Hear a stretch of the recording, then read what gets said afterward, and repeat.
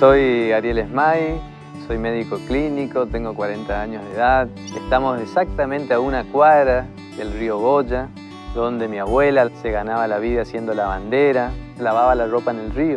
A mi papá lo dicen el pato porque se crió con mi abuela ahí, se nadaba muy bien. Tengo la suerte de seguir viviendo en el mismo barrio. Lo hice hasta el año 1999, donde me tocó ir a estudiar en la ciudad de Rosario. Fueron años de crisis sociales y económicas, como fue la del año 2001. Mi papá herrero, mi mamá maestra de primaria. Hicieron hasta lo imposible para que no dejáramos de estudiar. Siempre el mensaje claro de que había que estudiar. Somos la primera generación que pudo estudiar en una universidad pública, una alegría y un orgullo para mí y para mi familia, por supuesto.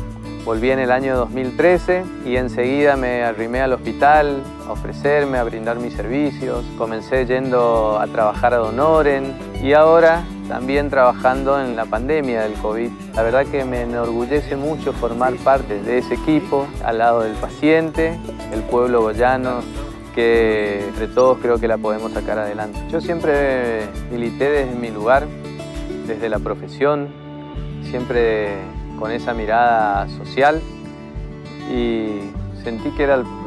Hola, profe. ¿Cómo te Buenas tardes. ¿Cómo le va? Pero muy bien, muy bien. Por favor, ¿eh? sí, no me siento. Bueno, justo les contaba que había sentido que era el momento de participar desde la política y cuando me llamó el profe y me hizo la propuesta, la verdad que fue muy poco lo que tuve que pensar, así que gracias, profe.